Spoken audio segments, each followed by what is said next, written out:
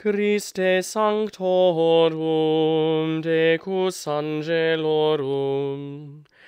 Gentis humane sator et redemptor celitum nobis tribuas beatas.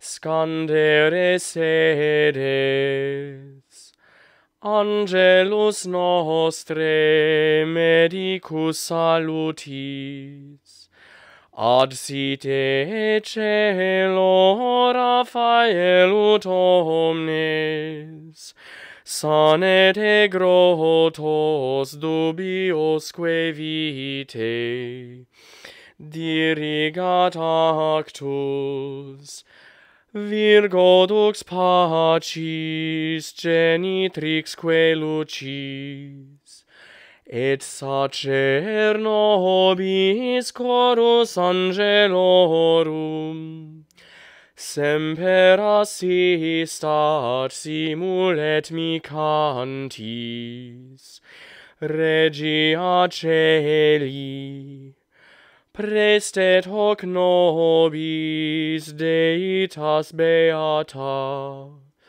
Patris agnati pariterque sancti, Spiritus cuius resonat per omnem, Gloria mundum.